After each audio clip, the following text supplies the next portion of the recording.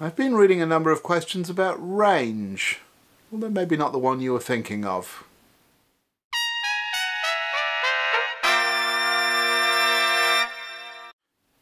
Hi, Bryan from Airflow Music here once again. Welcome back to another video. This is day 59 of our Go Practice Daily series. I'll keep this one a little short, as you may be able to hear. Slightly sore throat, little frog in there. So, don't want to talk too much, although I'm absolutely fine and the COVID test came back negative. So, just a bit of a cold, most probably.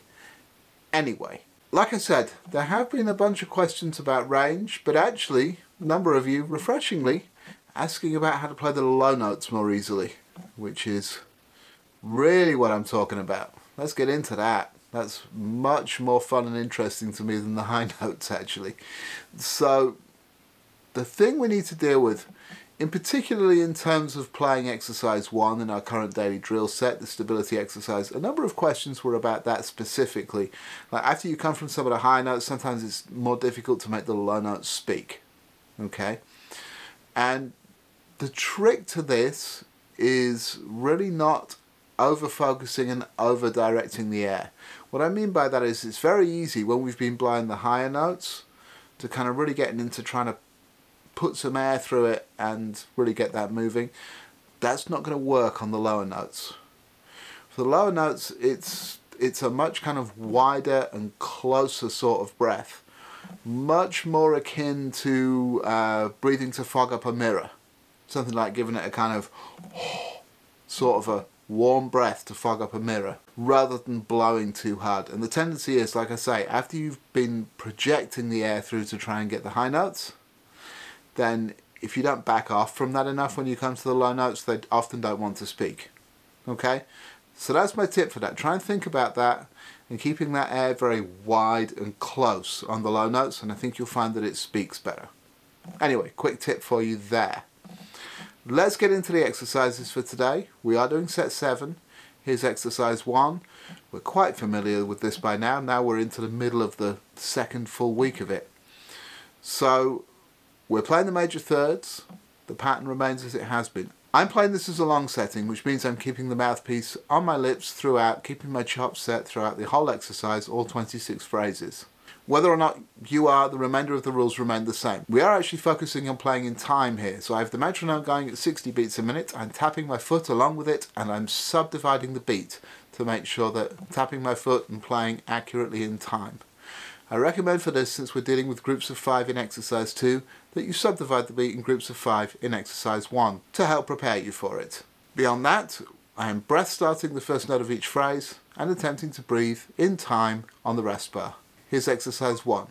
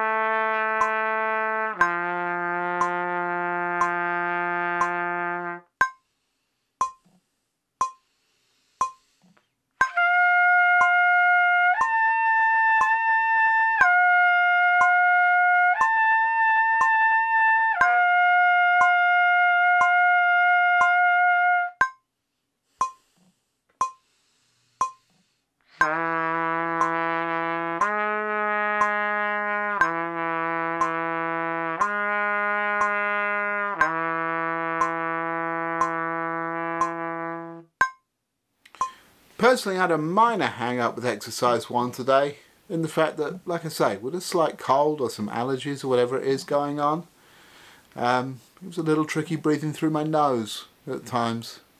Just a little congested, so I had to go a little slow with that. Partly so I didn't breathe out too quickly and make a terrible mess for all of you, and partly so I didn't kind of splutter too much and fail to get any air in. So that made it interesting. Anyway, other than that, couple of things didn't quite speak because I didn't get the best breaths always, but other than that, exercise one was fairly smooth as ever. Now, one more thing about playing the low notes I should touch on.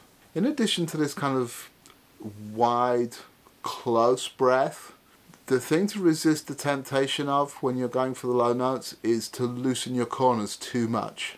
It's very common for us to want to kind of let go here because we don't think we need that support.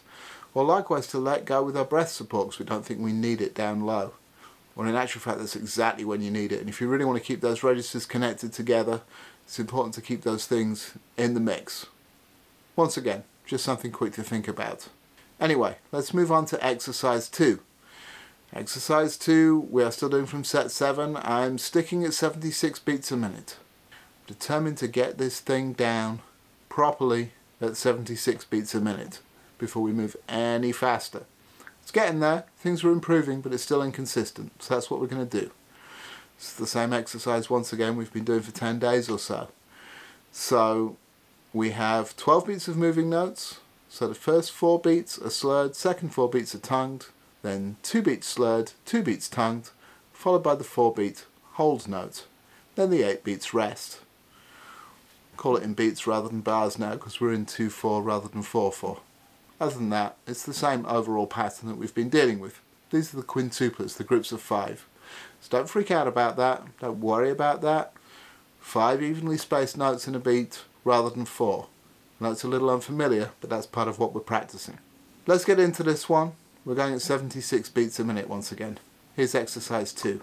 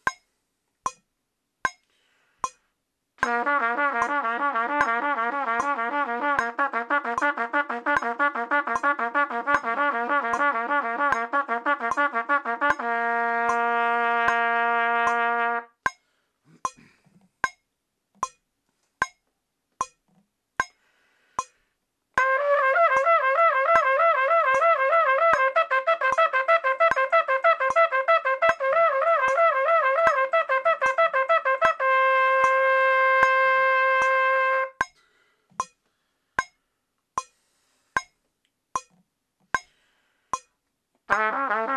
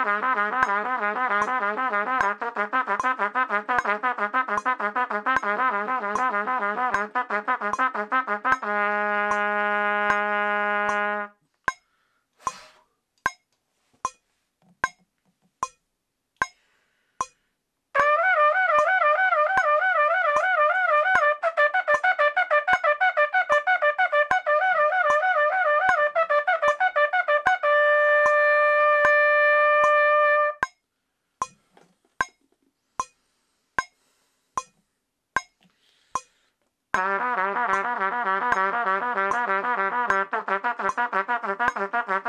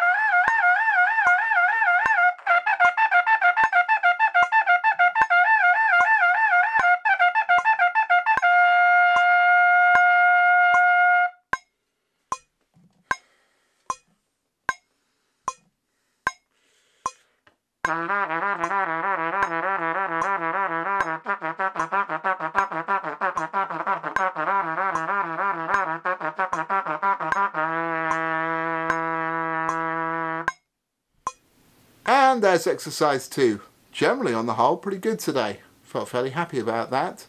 The low Ds to F sharps came out pretty smoothly. I was surprised. Of course, the low Gs to Bs, I tripped over my fingers a little and let myself down.